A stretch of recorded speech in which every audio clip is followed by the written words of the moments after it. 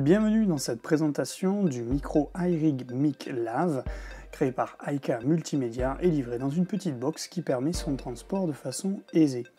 L'iRig Mic Lave est rien d'autre qu'un tout petit micro cravate que l'on va pouvoir donc accrocher euh, sur une veste afin d'enregistrer un interview par exemple ou même euh, ici une vidéo puisque j'enregistre avec ce petit micro.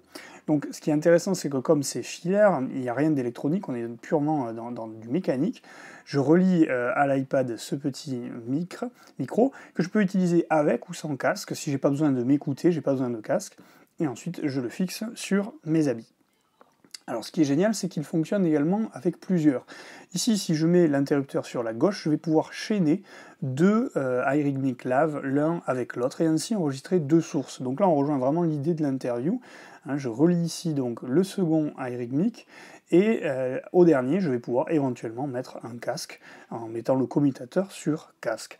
Et ainsi, je vais donc avoir deux sources simultanées qui vont créer euh, donc, euh, du son et je vais pouvoir enregistrer deux personnes. Alors on imagine très bien dans l'éducation le potentiel de, cette fonctionnalité puisqu'on pourra apprécier euh, d'enregistrer deux élèves pour un dialogue en langue étrangère, pour une interview lors d'une web radio, d'une web TV, etc.